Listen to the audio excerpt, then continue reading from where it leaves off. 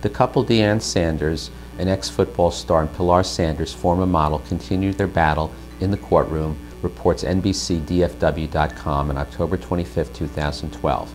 The couple disagrees about the validity of a prenuptial agreement they had signed back in 1999. The wife's attorney argued that parts of the prenuptial agreement were forged and some other parts his client was forced to sign.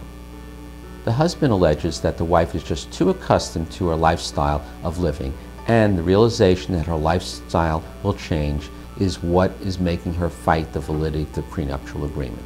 The judge hearing the case ruled that the wife signed the agreement of her own free will and she cannot bring the issue of the validity of the prenuptial agreement before the court in the future.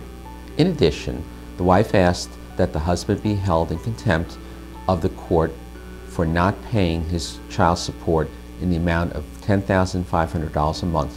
The husband argues that $10,500 a month is too high and he has been paying the maximum amount allowed by the state. The exact amount is unknown. Now that the validity of the prenuptial agreement is settled, an arbitrator will take over for the remainder of the divorce case.